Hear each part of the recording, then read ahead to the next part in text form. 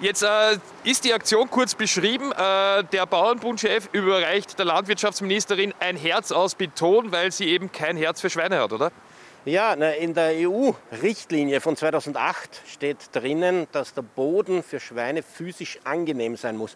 Wenn die Ministerin den Schweinen einen Betonboden zumutet, ohne jede Stroheinstreu, muss sie der Meinung sein, Beton ist physisch angenehm. Sie hat offensichtlich eine Art von Betonfetisch und findet den Beton total weich, warm und, und wunderschön zum drauf zu liegen. Und deswegen ist es äh, legitim, finde ich, ihr dieses Herz aus Beton zu überreichen.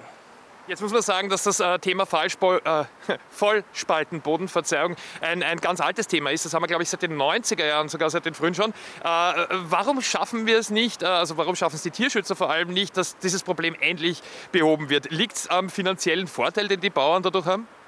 Naja, also leider ist es so, dass die ÖVP diese gesamte Zeit seit den 90er Jahren immer an der Regierung war.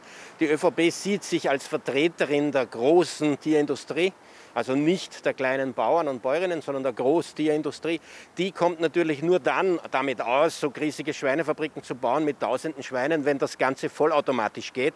Und damit es vollautomatisch geht, darf kein Strohhalm drin liegen, weil sonst müsste man den ja ausmisten. Und um sich dieses Ausmisten zu ersparen, gibt es diesen Beton-Vollspaltenboden. Und davon will man offensichtlich kein Jota abweichen. Das ist das Problem, das wir haben. Die Ministerin hört nicht auf äh, die Bevölkerung. 96 Prozent der Menschen wollen das Schweine Stroh haben. Die Ministerin hört nicht auf die Vernunft. Wissenschaftliche Studien sagen, wie schlimm das für die Schweine ist. Sie hört nur auf die Tierindustrie. Dazu äh, muss man auch einmal sagen, äh, im Vergleich wäre das so, wie wenn ein Mensch auf einem Metallrost leben würde und keine Toilette hätte, sondern seine Fäkalien einfach durchfallen und dann müsste man die ganze Zeit drüber leben. Also das würde jetzt kein Mensch natürlich mit sich äh, machen lassen. Bei den Tieren wird da jetzt einfach seit Jahrzehnten so weitergetan und das führt natürlich zu vielen Krankheiten. Viele Schweine haben Lungenentzündungen, Entzündungen an den Gelenken und so weiter und so weiter. Jetzt äh, wird praktisch prophylaktisch schon Antibiotika ins Essen der Tiere gemischt. Äh, das landet ja im Endeffekt am Teller. Absolut, ja. Also wir haben ein riesiges Antibiotikaproblem weltweit. Das weiß die gesamte Wissenschaft, präsentiert uns das seit Jahren. Äh, und das, ein großer Teil davon ist die Abgabe von Antibiotika in der Schweineindustrie. Diese Tiere können diese Haltung nicht überleben, ohne Antibiotika zu bekommen. Nur wenn sie sehr viele Antibiotika bekommen und das äh, in der Masse, dann entwickeln sich resistente Bakterienstämme, weil die ja ständig sozusagen trainiert werden an diesen Antibiotika.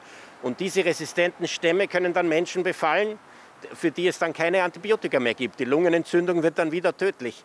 Und dieses Problem haben wir und da scheint die Bundesregierung nichts dagegen unternehmen zu wollen.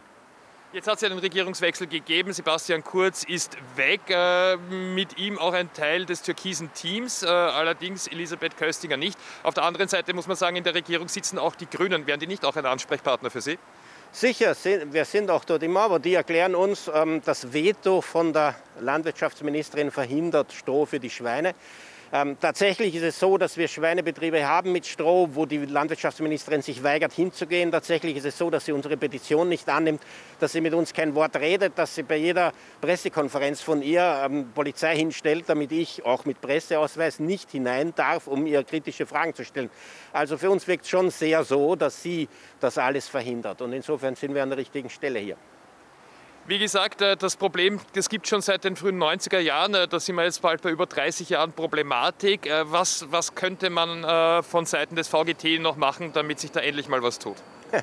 Naja, das große Problem war, wie das Bundestierschutzgesetz 2005 gekommen ist, gab es die Fragen wie Legebatterie und das Verbot derselben.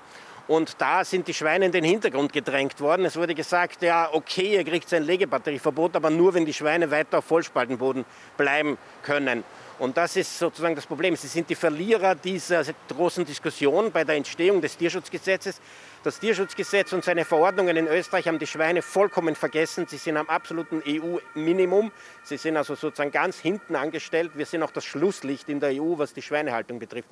Und das jetzt wieder aufzurollen, ist sehr mühsam, insbesondere auch, weil die Schweineindustrie die größte Tierindustrie in Österreich ist. Zwei Drittel des Fleischkonsums stammt von Schwein. Und man hat irgendwie so gelernt, Schwein ist das billigste Fleisch, das man halt so nimmt. Und dagegen müssen wir angehen. Wir müssen also sozusagen die Altlasten langsam aufarbeiten und das ist mühsam. Aber ich glaube, Schritt für Schritt kommen wir hin. Es ist immerhin jetzt schon einmal ähm, ein, ein, gewisses Verständnis dafür da, auch in der Politik, dass es eine Änderung geben muss. Sonst hätten die nicht diese komische Pseudo-Änderung gemacht. Jetzt heißt es nachsetzen. Und ich bin zuversichtlich, dass wir das äh, Vollspaltenverbot äh, letztlich zustande bekommen.